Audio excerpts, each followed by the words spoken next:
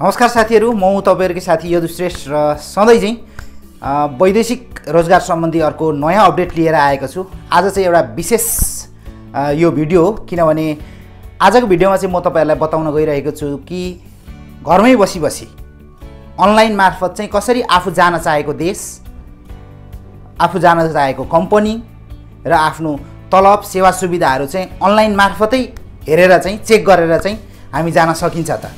चाहेको देशमा। होइन? यदि तपाईँहरू विदेश जान चाहिरहनु भएको छ भने दलालहरूबाट सबैजना सजग रहिरहनु भएको छ र पनि ठगिने क्रम चाहिँ ज्यादा छ। त्यसैले गर्दाखेरि यसबाट नठगियोस् भन्नको लागि चाहिँ नेपाल सरकारले चाहिँ एउटा आधिकारिक वेबसाइट बनाएको छ। त्यो वेबसाइटबाट चाहिँ तपाईँहरूले आफूले जान चाहेको ठाउँहरूमा देशहरूमा कम्पनीहरूमा आफ्नो सेवा सुविधाहरू सम्पूर्ण कुराहरू चाहिँ तपाईँहरूले अनलाइन मार्फत चेक गर्न सक्नुहुन्छ हेर्न सक्नुहुन्छ। त्यो चाहिँ कसरी त? भन्ने कुरा चाहिँ म तपाईँहरूलाई आज सिकाउन गइरहेको छु। अन्तिमसम्म भिडियो हेर्दै रहनु होला गाइज स्टेट्युन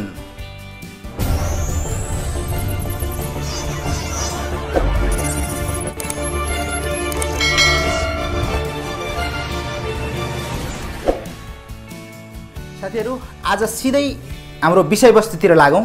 हामीले अघि कुरा गरिसक्यौँ। आजको टपिक्स भनेको चाहिँ वैदेशिक रोजगारलाई चाहिँ कसरी अनलाइन मार्फत तपाईँहरूले चेक गर्ने अथवा खोज्ने जान चाहेको क्षेत्रमा काम गर्न चाहेको क्षेत्रमा काम गर्न चाहेको देशमा भन्ने कुरा चाहिँ आज हामी सिक्न गइरहेका छौँ। कसरी अनलाइन मार्फत चेक गर्ने त्यसको प्रोसेसहरू के के हो भन्ने कुरा हेर्न गइरहेका छौँ। त्यसको लागि चाहिँ म तपाईँहरूलाई कति पनि ढिलो नगरिकन सिधै कम्प्युटर स्क्रिनतिर लिएर जान चाहन्छु। तपाईँ मसँगै पछि पछि आउनुहोला। मेरो अनुरोध। हामी सबैभन्दा पहिला चाहिँ हाम्रो ब्राउजरमा जाने। जस्तै म चाहिँ गुगल क्रोम चलाउनु चलाउँछु तपाईँहरू सफारी चलाउनुहुन्छ होला अथवा मोजिला फायरफक्स जे चलाउनुहुन्छ। सबैभन्दा सुरुमा चाहिँ यो गुगल क्रोममा जाउँ गुगलमा जाउँ। गुगलमा गइसकेपछि तपाईँले गुगलमा हान्नुहोला। W W W dot D OF DOFE GOV dot NP हान्नुभयो भने तपाईँको यो खालको इन्टरफेस खुल्छ। जसलाई चाहिँ डब्लु डब्लु डट यहाँ हेर्नु स्क्रिनमा पनि तपाईँहरू हेर्न हेर्न सक्नुहुन्छ। W W dot DOFE dot GOV dot NP हान्नुभयो भने तपाईँहरूको यो खालको इन्टरफेस खुल्न जान्छ। यो खालको इन्टरफेस खोलिसकेपछि सबै नेपालीमै लेखिएको हुन्छ। यहाँ तपाईँ जस्तै वैदेशिक रोजगार सूचना व्यवस्था प्रणालीकोमा क्लिक गर्नुभयो भने तपाईँले यहाँनिर व्यक्तिगत श्रम स्वीकृतिको लागि र तपाईँको पुनः श्रम स्वीकृतिको लागि चाहिँ यो अनलाइन नै तपाईँहरूले भर्न सक्नुहुन्छ। र अर्को छ तपाईँहरूले हामीले वैदेशिक रोजगारमा जान चाहने व्यक्तिहरूले चाहिँ अनलाइनबाट कसरी आफ्नो जब खोज्ने अथवा कुन कम्पनी कहाँ कुन देशमा आफू जान चाहेको त्यो कुरा अनलाइन कसरी खोज्ने त?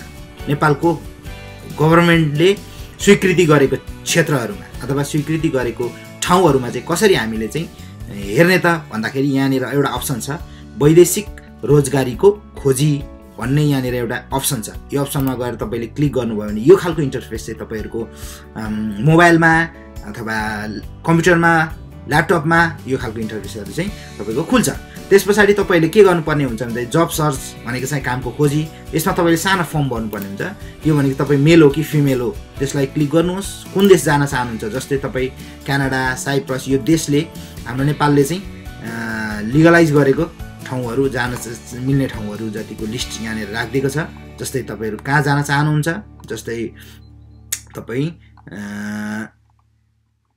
ल जापान जान चाहनुहुन्छ भने जापान भन्ने कन्ट्री सेलेक्ट गर्नुहोस् र कामको प्रकृति अथवा कामको वर्गीकरण गर्नुहोस्। यहाँनिर जापानमा चाहिँ professional skill unskill high skill र सेमी स्किल गरेर क्याटागोराइज गरेको छ। फर इक्जाम्पल तपाईँहरू यदि स्किलमा चाहिँ तपाईँ जान चाहनुहुन्छ भने स्किलबाट इम्प्लोइ रोजगारदाताहरू तपाईँ सरी केमा चाहिँ जान चाहनुहुन्छ? कुन कम्पनीमा चाहिँ जान चाहनुहुन्छ भन्ने कुरा हेर्नलाई चाहिँ जस्तै ए भनेर तपाईँले हान्नुभयो भने होइन?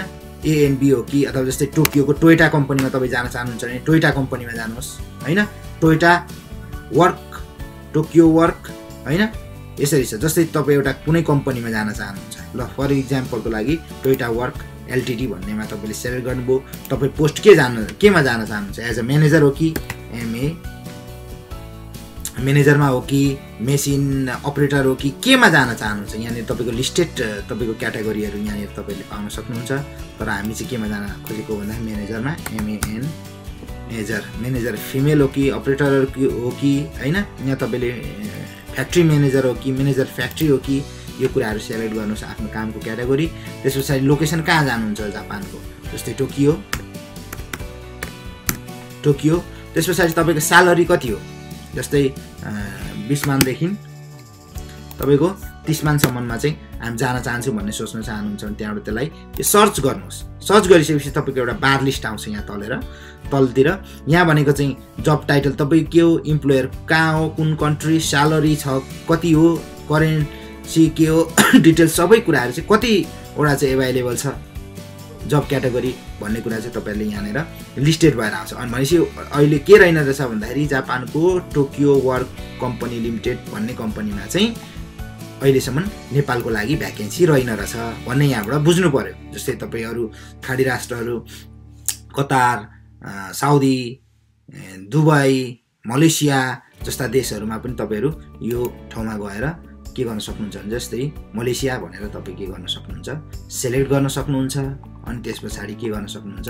त्यो कुन स्किलमा जाने हो? अनि रोजगारदाता कुन कम्पनी तपाईँलाई त थाहा हुन्छ? कुन कम्पनीमा जान चाहिरहनु भएको छ? त्यो कम्पनी के पोस्टमा जान चाहनुहुन्छ? तपाईँसँग के स्किल छ? त्यो कुरा हाल्नुहोस्। अनि त्यसपछि कुन क्षेत्रमा जान चाहनुहुन्छ? र तपाईँको स्यालेरी कति एक्सपेक्ट गरिरहनु भएको छ? त्यो स्यालेरी क्याटेगोरीमा चाहिँ तपाईँहरूले सर्च गर्नुभयो भने चाहिँ तपाईँहरूलाई यहाँनिर लिस्ट देखाउँछ।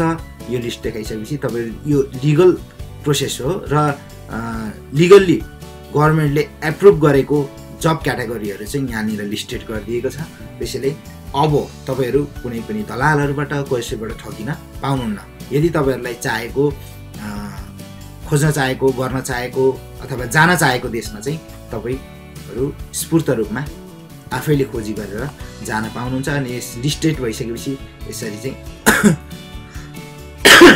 सरी तपाईँहरूले यसरी जब क्याटेगोरीहरू चाहिँ अनलाइन मार्फत नै जापान सरकारले आधिकारिक रूपमा यसरी चाहिँ राखिदिएको छ। र यहाँनिर तपाईँहरू यो पेजमा सरी यो वेबसाइटमा गएर तपाईँहरू इजाजत प्राप्त संस्थाहरू कुन कुन हुन् अभिमुखीकरण गर्ने संस्थाहरू के के हो स्वास्थ्य संस्थाहरू कुन कुन छन् आबद्ध ब्याङ्कहरू के के हो बिमा कम्पनी एजेन्टहरू पासपोर्टको खोजी गर्ने पूर्व स्वीकृति लिने के गर्ने होइन?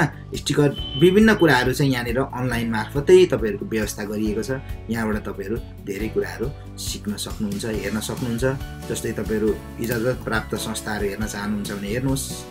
यसरी चाहिँ यहाँनिर अब जस्तै पर्मिसन नम्बर हुन्छ तपाईँको नाम हान्नुहोस् अनि सेलेक्ट के गर्नुहोस्। गर्नुहोस् त्यस पछाडि तपाईँहरूको भ्यालिड संस्थाहरू आउँछ।